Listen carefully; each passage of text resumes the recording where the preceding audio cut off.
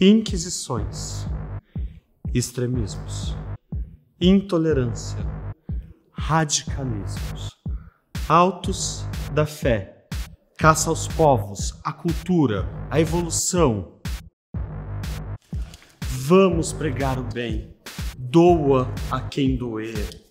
Abusos de mulheres, exploração sexual infantil, mutilação, estupros. Se os seus ensinamentos cultuam a violência e você chama isso de amor, é porque você ainda não conheceu o afeto. Ame-se, liberte-se. Não há religião mais linda do que sentir o próprio amor.